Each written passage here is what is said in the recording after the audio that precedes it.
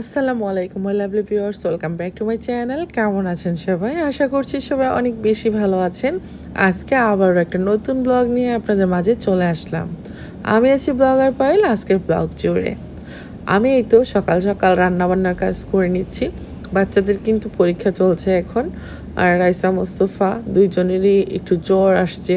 আসলে পরীক্ষার মধ্যে জ্বর আসলে যে কত ঝামেলা মানে সেটা একজন মা ছাড়া কেউই জানে না।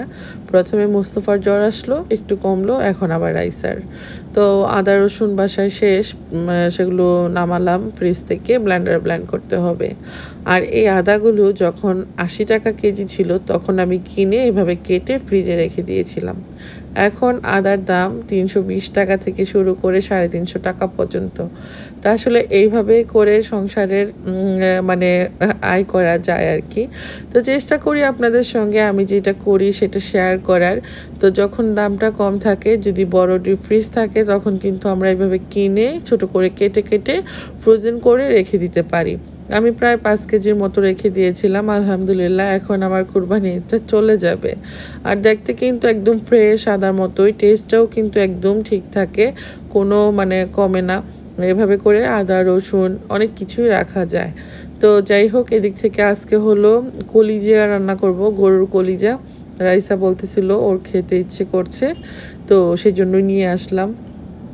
আমার হাজব্যান্ড তো দেশের বাইরে, আজকে কলিজা কিনতে গিয়ে একটা কাজ হলো, সেটা হলো যখন কলিজা কিনতেছিলাম, তখন দেখি যে মানে মাংস যেই বলে ওরা বিক্রি করে না, ওই বলটা একটু উঁচু করে রাখে, আর ওই বলের ভিতরে আগে থেকেই মানে আগের মাংস যেগুলো থাকে, চর্বি টর্বি বা শাড়ির যে মাংসগুলো থাকে না মানে যেগুলো খাওয়া যায় না, ওগুলো একটা সাইডে মানে রেখে দেয়। প্রায় আড়াইশো গ্রামের মতো রেখে দিয়েছিল। তা আমি হলো মানে এই জিনিসটা আরও একবার দেখেছিলাম, তারপর থেকে অনেকটা সচেতন। আর এত দাম দিয়ে কিনবো, আটশো টাকা কেজি যদি এরকম আজে বাজে মাংসই দিয়ে দেয় সাথে, তাহলে কিনে কী লাভ? তো আমি ওদেরকে বলতেছিলাম যে, আপনার মাংস তোলার আগে আগে বলটাকে আমাকে দেখান। বলে কি, বল দেখানো লাগবে না, দেখানো লাগবে না।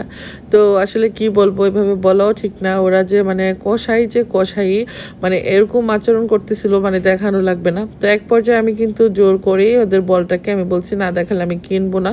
পরে ওরা কীভাবে যে আমার সামনেই মানে আমার চোখের পলকের মধ্যে হাত দিয়ে মাংসটাকে নামাই তারপরে মানে বলটার মধ্যে আমার এই মাংসটা দিল। তো যখনই মাংস কিনবেন, মাংসর দোকানে গেলে মাংসর দোকানের যে বলটা থাকবে সেটা আগে চেক করে তারপর আপনার যে মাংসটা নিচ্ছেন সেটা মাপতে দিবেন। নতুবা ওরা কী করে, আগে থেকে ওই মাংসটা বলে রেখে দেয় আর আপনার মাংসটা তো মানে ওজনও কম দিল, তারপর আবার আপনার মাংসর সঙ্গে সেই বাজে মাংসটাও দিয়ে দিল। তো কেমন একটা অবস্থা, তাই না? তো কলিজা কেটে কুটে রেডি করা হয়েছে, রান্না করব। তার আগে ভাবলাম আজকে একটু ডাইনিং, ড্রয়িং রুমগুলো গুছাই। আর গুছাতে এসে মনে হচ্ছিল যে এগুলো তো বেশ অনেক দিন হয়েছে লাগিয়েছি, আজকে এটা তুলে ধুইতে দিই। আর ড্রয়িং রুমেরও সেম অবস্থা। তো এগুলো এখন খুলে আমি এগুলো মানে ধোয়ার জন্য নামিয়ে নেব। আর এই জিনিসগুলো লাগানোর পর থেকে মনের মধ্যে একটা প্রশান্তি প্রশান্তি কাজ করে। মনে হয় যে ড্রয়িং রুম গুছানোর কোনো আলাদা ঝামেলা নেই। আর মেহমানও হুট করে আসলে তেমন ঝামেলা মনে হয় না। আর খুলে নেওয়া তো কতটা সহজ। তো আমার কাছে তো ভালোই লাগছে। আমি এগুলো ইউজ করে আরামই পাচ্ছি। আর এগুলো ধোয়াও কিন্তু অনেক মানে সহজ, একদম হালকা ধোয়া মানে ধোয়ার তো সময় এত ঝামেলাও হবে না। তো খুলে নিচ্ছি আর কি। এরকম কাবার আমি চিন্তা করে দেখলাম, দুই সেট থাকা ভালো, তাই আমি আরও এক সেট অর্ডার করলাম। আমার সেই নতুনটা আজকে লাগাবো, আর আমার ড্রয়িং ডাইনিং রুমের লুকটা আজকে একদমই চেঞ্জ হয়ে যাবে, আলহামদুলিল্লাহ। তা আপনারা দেখে জানাবেন কেমন লেগেছে আমার দুই সেট কাবারই আমার তো এটা অনেক পছন্দের একটা কাবার এখন যেটা অর্ডার করছি, সেটাও আমার খুবই পছন্দের একটা কালার তো লাগানোর পর বোঝা যাবে আসলে যে কোনো জিনিসই পরার পর ড্রেসটা মানে বোঝা যায় মানে কেমন লাগে। তো এমনি তো আমি কালারটা চুজ করছি। আর এখন হলো যখন এটা সাজাবো, সাজানোর পর বোঝা যাবে আসলে জিনিসটা কেমন হলো। তো এগুলো খোলার পরই ওটা লাগিয়ে নিচ্ছি। চলুন একটা কমেন্ট পড়ি। আমি আমার মায়ের পালিত মেয়ে। আমার মায়ের আগে থেকে কোনো সন্তানাদি ছিল না। বাবা মায়ের খুব সুন্দর সংসার। অনেক ধন সম্পদে পরিপূর্ণ একটা পরিবারে আমাকে আমার মা বাবা জন্মের পরই তাদের কাছে দিয়ে দিয়েছে। ছোটবেলা থেকে ওনারা আমাকে খুব আদর যত্ন করে বড় করেছে, কখনো বুঝতে দেয়নি আমি আমার মা বাবার পালিত সন্তান। ধীরে ধীরে বড় হতে লাগলাম আর দেখতেও অনেক সুন্দর হয়েছি। তো সেই সুবাদে আমার মায়ের টেনশন বাড়তেছিল। আমার মা বাবার যেহেতু প্রচুর ধন সম্পদ, তো এখন এই ধন সম্পদের জন্য তো একটা ভালো ছেলের হাতে আমাকে তুলে দিতে হবে, তাই না? আর এদিক থেকে আমার চাচা, চাচাতো ভাই ওরা চাচ্ছিল যে আমার মা বাবার সব মানে ধন সম্পদের মালিক যেন ওরা হয়। তো আমার মা বাবা সেটা চাইছিল না। আমার মা বাবা চাইছিল যে এই ধন সম্পদের মালিক যেন আমি আর আমার হাজব্যান্ড হই। সেই জন্য আমার মা তার ফুপাতো ভাইয়ের ছেলের কাছে আমার জন্য বিয়ের প্রস্তাব পাঠালো। আর আমার ফুপুও সেই মানে খুশিতে রাজি হয়ে গেল, আমাদের বিয়ে হলো। বিয়ে হওয়ার পর আমার ফুপাতো ভাই তখন লেখাপড়া করছিল, তাকে আমার মা বাবা ডাক্তারি পড়ানোর জন্য ডিসিশন নিল। আমাদের বিয়ে হওয়ার পরপরই আমাদের একটা সন্তান হলো আর আমি আমার মা বাবার কাছেই থাকলাম, আমার হাজব্যান্ড লেখাপড়ার জন্য ঢাকায় চলে গেল। আর আমার যেহেতু ছোট বাচ্চা, তাই কিন্তু আমি মা বাবার কাছেই থাকলাম। মা বাবার আদরের কোনো রকম কমতি নেই। এদিক থেকে আমার ছেলে হওয়ার পর থেকে আমার আদর জন্য আরও বেড়ে গেছে। আমার থেকে আমার ছেলের আদর আরও বেড়ে গেছে। মা বাবার ঘরটা যেন এখন পরিপূর্ণ। আমি একাই মেয়ে ছিলাম। আর তো ওনাদের কোনো বাচ্চা সন্তানাদি কিছুই নেই। অন্যদিকে আমার চাচা চাচাতো ভাইদের অনেক প্যারাশুনি তো এগুলো সহ্য করতে না পেরে আমার বাবা মা ডিসিশন নিল যে আমার হাজব্যান্ডকে আমাদের যত সম্পত্তি আছে সব লিখে দিবে। এদিক থেকে আমার হাজব্যান্ড দুইটা কোয়ালিটি একটা হচ্ছে আপনার লোকাল ফেব্রিক আর একটা হচ্ছে অরিজিনাল ফেব্রিক আচ্ছা। এটা হচ্ছে অরিজিনাল তুর্কি ফেব্রিক যেটার ভিতরে লোগো লাগানো থাকবে এটা ট্রেডমার্ক করা। এটা কেউ নকল করতে পারবে না। এটা হচ্ছে অরিজিনাল তুর্কি ফেব্রিক আর আমাদের ব্যাগের ভিতরে লোগো লাগানো আছে এটা হচ্ছে ব্যাগের ভিতরে লোগো লাগানো। এই কালারটা হলো মিল্ক কফি কালার আমি গল্পটা শেষ করব। গল্প না, এটা একটা জীবন থেকে নেয়া সত্যিকারের গল্প। তার আগে একটু আপনাদেরকে দেখিয়ে দিচ্ছি। এই কালারটা হলো মিল্ক কফি কালার আমার তো সেই পছন্দ হয়েছিল। এখন লাগানোর পর দেখা যাক কেমন হয়েছে। আর আপনারা কমেন্ট করে জানাবেন আপনাদের কাছে এই কালারটা কেমন লেগেছে? তো এখন হলো এটা সুন্দরভাবে সেট করে দিচ্ছে। আর ওনাদের কাছ থেকে যদি আপনারা এই কাভার সেটগুলো অর্ডার করতে চান, তাহলে কিন্তু স্ক্রিনের উপর নাম্বার দেওয়া আছে। আর ডিসক্রিপশন বক্সে ওনাদের ফেসবুক পেজ আমি দিয়ে রাখব। সেখানে গিয়ে কিন্তু আপনারা আপনাদের মন মতো কালার দেখে চুজ করে অর্ডার করতে পারেন। ওনারা কিন্তু আপনাদের কাছে এ সুন্দরভাবে এটা পৌঁছে দেবে এবং বাসায় গিয়ে এভাবে সেট করে দিয়ে আসবে। আর ওনাদের এই যেই মানে আমাদের যে সেটটা দিল, এই সেটটা হলো অরিজিনাল তুর্কি একটা প্রোডাক্ট এত ভালো মানে কি বলব, আপনারা যখন নেবেন তখনই বুঝতে পারবেন। আর এটা ছিল আমাদের ডাইনিং টেবিলের জন্য। তো ডাইনিং টেবিলের চেহারাটাই কিন্তু পুরো চেঞ্জ হয়ে যাবে। আমি তো আমার পছন্দের কালারগুলো নিলাম।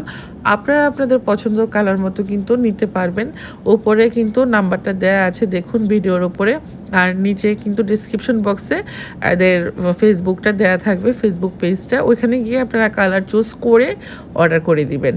তো আমার তো, আমার ভালো লাগছে, তাই আমি অর্ডার করছি। আপনাদের যদি কারও ভালো লাগে, আপনারা অর্ডার করবেন। আর এই তো লাগানোর পর আপনারা এর ফাইনাল লুকটা দেখে নেবেন। আর এটার প্রাইসটা আসলে কি বলব? আমার বাসায় যেই সোফাগুলো আছে, সেই অনুপাতে আমি আমার ছবিগুলো তুলে দিছি আর ওরা বানাই দিছে। আপনারা আপনাদের বাসার যে এরকম সোফার স্টাইল হয়তো অন্যরকম, আমার বাসায় একরকম, তো সেইভাবে দামটা ওরা নির্ধারণ করে। তো যেখান থেকে আসলে বলছিলাম, তো ডিসিশন নেওয়া হলো যে মেয়ের জামাইয়ের নামে সমস্ত সম্পত্তি লিখে দেওয়া হবে। এদিক থেকে জামাইয়ের আচরণ দেখেও বাবা মা অনেক খুশি। মেয়েকে অনেক টেক কেয়ার করে, যতক্ষণ সময় ধরে গ্রামের বাড়িতে থাকে ছুটিতে সব সময় মেয়েকে অনেক আদর যত্ন, বাচ্চাকে দেখে শুনে রাখা সব কিছুই জামাই করে। তো জামাইয়ের এত সুন্দর আচরণ দেখে বাবা মাও মুগ্ধ। তো ভাবলো যে আমার এই সম্পত্তি রক্ষা করার জন্যই তো আমরা আমাদের মেয়েকে নিয়ে আসছি। এখন মেয়ের জামাইও যেহেতু মাসাল্লাহ এত ভালো, তাহলে আর কোনো টেনশন রইল না। যেহেতু ওনার ভাইরা, ভাইয়ের ছেলেরা ওনাদের সাথে সম্পত্তি নিয়ে অনেক মানে ঝগড়াঝাটির মতো একটা পর্যায়ে। হয় না? এরকম সবার মধ্যেই কিন্তু হয়। দেখা যায় সম্পত্তি ভাগাভাগি নিয়ে। আর চায়, যেহেতু চাচার কোনো সন্তান নেই, চাচা নিঃসন্তান, তো চাচার সম্পত্তিটা ভাই বাতি যারা নিয়ে যাওয়ার জন্য। তো এখন চাচা, চাচি তো আর সেটা চাচ্ছে না। চাচ্ছে যে ওনার সম্পত্তি, ওনার মেয়ে, মেয়ের জামাই খাবে, সেটাই। আর মেয়ের জামাই যেহেতু এত ভালো মানুষ, ভাবলো আমার মেয়ের জামাই শিক্ষিত, সব দিক থেকে ভালো, মেয়েকে অনেক আদর করে। তো মেয়ের জামাইয়ের নামেই সব সম্পত্তি লিখে দিবে, এই ডিসিশনই পাক্কা হলো। তো একটা সময় মেয়ের জামাইয়ের নামে সমস্ত সম্পত্তি লিখে দেওয়া হলো। এর মধ্যে আমার আরও একটা বেবি হলো। তো আরেকটা বেবি হওয়ার পর মানে হাজব্যান্ডও ওই দিক থেকে লেখাপড়া প্রায় শেষের দিকে তার মানে এখন চেম্বার দিতে হবে। তো সে ঢাকায় একটা চেম্বার নেয়, সেখানে সে রুগী দেখা শুরু করে। একটা সময় সে ওখানেই মানে থাকতে শুরু করে। আর এদিক থেকে যেহেতু বাবা চলে গেছে, এরই মধ্যে মা একা থাকতে শুরু করেন। আর মাকে ছেড়ে আমি তো কোনোভাবেই ঢাকায় যাওয়া সম্ভব না। মায়ের সাথেই আমি থাকব, সেটাই ডিসিশন হলো। আর মা, মাও আমাকে ছাড়া থাকতে পারবে না। মা আমাকে আনার পর কোনো দিন আমাকে ছাড়া এক রাতও থাকেনি। বিয়ের পর থেকে আমরা তো মায়ের বাড়িতেই থাকছি। যেহেতু আমার ফুপাতো ভাইকে, আমারকে ফুপাতো ভাইয়ের কাছে বিয়ে দেওয়া হয়েছে, তো সেই সুবাদে ফুপাতো ভাই একবারই আমাদের এখানে চলে আসছে। ফুপু মাঝে মাঝে আসা যাওয়া করতো, এখন তো ফুপু মারা গিয়েছে। তো যাই হোক, এখন হলো, আমার হাজব্যান্ড যেহেতু ঢাকায় কাজ করবে, ঢাকায় থাকবে, সে মাঝে মাঝে আসবে, যাবে, এটাই স্বাভাবিক। তো আমার হাজব্যান্ড ঢাকায় থাকতে শুরু করল, মাও এই দিক থেকে রোগে সোগে পড়ে গেল, মাকে দেখে শুনে রাখা, সন্তানদের দেখে শুনে রাখা, এদিক থেকে আমার আরও একটা বাচ্চা হয়ে গেল, দুই বাচ্চার মা এখন আমি। তো এদিক থেকে ওর সাথে আমার কিছুটা দূরত্ব বাড়তে শুরু করল। আগে ও প্রতি সপ্তাহে বাড়িতে আসতো, তারপর দেখা গেল দুই সপ্তাহ পর পর আসতো, এক মাস পর আসতো এখন ও দুই তিন মাস পার হয়ে গেল ওকে না বললে ও আসতে চায় না। তো একটা সময় একদিন দেখা গেল, একদিন ও একটা মহিলা নিয়ে এসে বাসায় হাজির। তো আমার মা, আমি, আমরা জানতে চাইলাম কে সে। সে বলল তার কলিগ তার সাথে একসাথে কাজ করে আমাদের গ্রামের বাড়ি ঘুরতে আসছে। তো এই কথা বলেই আমাদের বাসায় নিয়ে আসলো। আমরাও সেটা মেনে নিলাম, আদর আপ্যায়ন করলাম। তার সঙ্গে প্রায় এক সপ্তাহ আমাদের গ্রামের বাড়িতে ছিল। সেই সময়টাতে আমরা একটুও বুঝতে পারি নাই যে আমার হাজব্যান্ড এই মহিলার পাল্লায় পড়েছে। এদিক থেকে ধীরে ধীরে তার সাথে দূরত্বটা আরও বাড়তে শুরু করল। সে এবার তিন মাস, চার মাস চলে গেলেও সে আসতে চায় না গ্রামে। ওখানেই থাকতে চায়। আর এদিক থেকে মা অসুস্থ। মাকে রেখে আমার যাওয়া কোনোভাবেই পসিবল হচ্ছিল না। ওর লেখাপড়ার খরচ, ওর যাবতীয় খরচ আমার বাবা মাই দিত। এমনকি আমাদের যত সম্পত্তি, তার নামেই এখন লেখা আছে। ওর প্রয়োজন বোধে ও চাইলে সব কিছু সেল করে দিতে পারবে। সেটা ও জানে, আমরাও জানি। আর এদিক থেকে আমার চাচাদের সঙ্গে তো আমাদের অনেক দূরত্ব হয়ে গেছে। যেহেতু আমার মা, আমার হাজব্যান্ডের নামে সব কিছু লিখে দিয়েছে আমার মা বাবা মিলে। তো একদম নিজেকে একা একা লাগছে, কি করব ভেবে পাচ্ছি না। হঠাৎ করে সে আমাকে একদিন বাড়িতে এসে বলল, ওই মহিলাকে সে বিয়ে করতে চায়। তা আমি আর কি বলব, আমি জানি না। মাকে এই কথা বলার মতো সাহসও আমার ছিল না। কীভাবে মাকে এই কথা বলব? ঠিকই সে একদিন ওই মহিলাকে বিয়ে করে ফেলল। আর এরপর থেকে ও যখনই বাড়িতে আসে, ওই মহিলাকে সঙ্গে করে বাড়িতে নিয়ে আসে। আমাদের যে আলগা ঘর থাকে না গ্রামের মধ্যে, আরেকটা ঘর থাকে, সেই ঘরে সেই মহিলাকে নিয়ে এসে থাকে। আমি আমার মায়ের সাথে আলাদা করে থাকি। এরকম সিচুয়েশনে আমার মা কি বলবে জানি না। তো আসলে আমার মাও অনেকটা ভেঙে পড়ে, আমিও ভেঙে পড়ি। আর কিছু বলারই ছিল না। ও ধীরে ধীরে আমাদের সম্পত্তি অনেক কিছুই সেল করতে শুরু করে দিয়েছে। এখন তো কিছু জায়গা জমি ছাড়া আর বাকি অনেকটাই বিক্রি করা হয়ে গেছে। তো আর কিছু বলার নাই, ছেলেরা বড় হতে শুরু করল। ও ওখানে আস্তে আস্তে থাকতে শুরু করল। এখন আসে মাঝে মাঝে, তবে একা আসে না। সঙ্গে করে ওর ওই ওয়াইফকেও নিয়ে আসে। তো এভাবে আমাদের জীবন চলতেছিল। দুজন দুই ঘরে ঘুমাই যখনই আসে, একসাথে আমাদের আর থাকা হয় না। তো জীবনটা আসলে কখন কার কি হয়ে যায় বলা যায় না। অনেক দেখে শুনে, অনেক যত্ন সহকারে মা বাবা আমাকে পেলে এত ভালো ছেলের হাতে তুলে দেওয়ার পরও কিন্তু সংসারটা এরকম হয়ে গেল। আমিও যদি তো কিছু করব, ওরকম ভাবার মতো সাহস তো আমার নেই। কারণ আমার বাবা মায়েরই মধ্যে সমস্ত সম্পত্তি আমার হাজব্যান্ডের নামে লিখে দিয়েছে। ও আমাদেরকে ভরণ পোষণ দিলে আমরা খাই, আর না দিলে তো খাওয়ার প্রশ্নই আসে না। তো ও ভরণ পোষণ দিত, আমাদের সমস্ত সম্পত্তির জমি জামার আয় ব্যয় সব কিছু ও টাকা তুলে নিত। মাস শেষে কিছু টাকা আমাদেরকে দিয়ে যেত। আর যখনই বাড়িতে আসতো, ওর বউকে সঙ্গে করে নিয়ে আসতো। ওরা ওই রুমে থাকতো, খাবার দাবার সমস্ত কিছু আমি নিজ হাতে রেডি করে ও ঘরে পাঠাতাম। তো এইভাবেই আমার জীবন চলতে থাকল। একটা সময় ও বয়স হয়ে গেল আর আমারও কিছুটা বয়স হয়ে গেল। এখন তো ছেলেরা অনেক বড় হয়ে গেছে, ছেলেদেরকেও বিয়ে করিয়ে দিয়েছি, ও এরই মধ্যে মারা গেছে। তো ওর ওয়াইফ কিন্তু এখনও বেঁচে আছে। তো আমার এক ছেলের বউ এখন ওর ওই ওয়াইফের সঙ্গে ওখানে থাকে।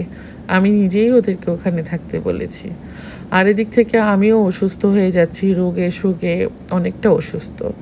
তো যাই হোক, এই অবস্থার মধ্যে আমি আর কি করতে পারি বলো? আমার তোমার ভিডিও খুবই ভালো লাগে। মাঝে মাঝেই তোমার ভিডিও আমি দেখি। ভাবলাম তোমার সঙ্গে আমার মনের কথাটা শেয়ার করি, যদি কিছুটা ভালো লাগে। সত্যি আপু, আমি আপনার এই কমেন্ট পড়ে আমি অনেকটা মানে মর্মাহত। আমার মনটাও ভেঙে চুরমার হয়ে গেছে। এত কষ্ট নিয়ে এত বছর কীভাবে আপনি বেঁচে আছেন? আল্লাহ আপনাকে সুস্থ রাখুক, ভালো রাখুক, সেই দোয়া করি। তো আর কিছু বলার মতো ভাষা আমার নেই। এটুকুই বলব আল্লাহ, আপনাকে সুস্থ রাখুক, ভালো রাখুক। এই দুনিয়াতে হয়তো সুখ পেলেন না, পরকালে যেন আপনাকে আল্লাহ অনেক সুখী করে। আপনার ভালোবাসার মানুষকে যেন আল্লাহ আপনার কাছে ফিরিয়ে দেয় সেটাই দোয়া করব। এদিক থেকে আমার রান্না বান্না শুরু করে দিলাম। এই তো কলিজা ভুনা করে নিচ্ছি। আর বাচ্চাদের পরীক্ষা চলতেছে তো, ওরা হলো একজনের পরীক্ষা শুরু হয় নয়টা থেকে, আরেকজনের শুরু হয় আটটা থেকে। তো দুজনই একটার ভিতরে বাসায় চলে আসে। তো এসেই গোসল দিয়ে খাইয়ে একটু রেস্ট করতে দিই। সেই জন্য রান্নাটা একটু আগে আগেই করে নিই। তো আমার রান্নাও করে নিচ্ছি, আপনাদের সঙ্গে গল্পও করলাম। তো আজকে ব্লগ কেমন লেগেছে? আশা করছি কমেন্ট করে জানাবেন। যদি ভালো লেগে থাকে, ভিডিওটা বেশি বেশি করে শেয়ার করবেন। আপনাদের একটা শেয়ার আমার জন্য অনেক বেশি উপকারী। মেয়েদের জীবন আসলে বলে এটা শেষ করা যায় না। কখন যে কার ভাগ্য, কখন কি হয়ে যায়, কোথায় কে গিয়ে কোথায় দাঁড়ায়, বলা যায় না। আমরা অনেকেই বলি যে, অনেক সুন্দরী হলে বুঝি হাজব্যান্ডকে হাত করে রাখা যায়। আবার অনেকে বলে এত অগুছানো, দেখতে এরকম এলোমেলো হয়ে থাকলে কি হাজব্যান্ড আর বসে থাকে? হাজব্যান্ড বসে থাকে না। তা আমাদের যেই যে প্রিন্সেস ডায়না সে কত সুন্দরী ছিল। তার হাজবেন্ডও কিন্তু পরক্রিয়ায় লিপ্ত হয়েছিল। তো এই জন্য আসলে কি, মেয়েদেরটা পুরোটাই ভাগ্যের উপর নির্ভর করে। শুধু সুন্দরী হলেই যে হাজব্যান্ডকে বশ করে রাখা যায়, এটা একদমই ভুল ধারণা। গুছিয়ে থাকলেই যে হাজব্যান্ডকে বশ করে রাখা যায়, এটাও একদম ভুল ধারণা। কত সুন্দরী সুন্দরী মেয়েদের হাজব্যান্ড পরকে লিপ্ত হয়ে যাচ্ছে। আসলে যার চরিত্র খারাপ তাকে যত সুন্দরী মেয়েই হোক না কেন, তার সঙ্গে মানে সেটা যায় না। তার নজর খারাপ, তার মনটা কুলুষিত হয়ে যায়। তখন সে এক নারীতে আসক্ত থাকে না। সে তখন বিভিন্ন নারীতে আসক্ত হয়ে পড়ে। আল্লাহ যেন এই ধরনের পুরুষের হাত থেকে আমাদেরকে রক্ষা করে, সবাইকে যেন আল্লাহ ভালো থাকার তৌফিক দান করে। আসলে পুরুষ জাতিরাই যেন কেমন। আমাদের মতো এতটা মানে আমরা যারা নারী, আমাদের মতো এতটা মানে মনের মধ্যে এদের মায়া থাকে না। ওরা অনেকটা শক্ত হৃদয়ের হয়ে থাকে। নতুবা কি করে পারে এই কাজগুলো ঘটাতে? আর মেয়েদের মধ্যে দেখবেন দুই চারটা মহিলা আছে যারা একটু খারাপ কাজ করে বেড়ায়। তাদের জন্য হয়তো পুরো নারী জাতির কলঙ্ক হয়। তবে পুরুষরাই কিন্তু বিশেষ করে মানে এইসব ব্যাপারে অনেক খারাপভাবে ডিসিশন নিতে পারে যেটা একটা মা পারে না, একটা মেয়ে পারে না, একটা বউ পারে না। তো আসলে আমাদের জীবনটাই কষ্টের, নতুবা এই আপুর জীবনের এই গল্প পড়ার পর আমি তো মনে করি যে আর মানুষকে বিশ্বাস করে বা বিশ্বাস করা ঠিক না। এই যে বিশ্বাস করে ওনাকে সমস্ত সম্পত্তি লিখে দিল, তাও মানে ভাইয়ের ছেলে, বোনের ছেলে, তো সেই জায়গাটা কি ঠিক উনি ধরে রাখতে পারছিল, পারে নাই। কত বড় বিশ্বাসঘাতকতা, তাই না? তো এই দুনিয়াতে হয়তো উনি পার পেয়ে চলে গেছে আখেরাতে। আখেরাতে তো এগুলোর হিসাব দিতে হবে। তো এই দুনিয়াতে আপুটাকে তো ঠিকই কষ্ট পেয়ে যেতে হচ্ছে। তো আসলে মেয়েদের জীবনের কোনো গ্যারান্টি নেই। যত সুন্দরী হোক না কেন, আর যত গুছানো পরিবারই হোক না কেন, আল্লাহ যে কখন কার ভাগ্যে কী দিয়ে দেয় বলা যায় না। তো সেই জন্য সবসময় আমরা মানে ইসলামের পথে থাকব, আল্লাহকে ডাকবো, যেভাবে চললে আল্লাহ খুশি থাকবে, ওভাবেই থাকব। কিছু কিছু ক্ষেত্রে আল্লাহ ভালো মানুষদেরকেই বেশি পরীক্ষা করে। হয়তো ওনার জন্য এটা আল্লাহর পরীক্ষাই ছিল। কথা বলতে বলতে রান্নাও শেষ করে নিলাম। কলিজা ভুনা হয়ে গেছে। আজকে দুইটাই তরকারি রান্না করলাম। আসলে এত বেশি খাওয়া হয় না। বাচ্চারা যেহেতু একটু অসুস্থ, তো ওরা হয়তো এটা দিয়ে একটু খাবে। আর আমার তো সবজি ছাড়া চলেই না।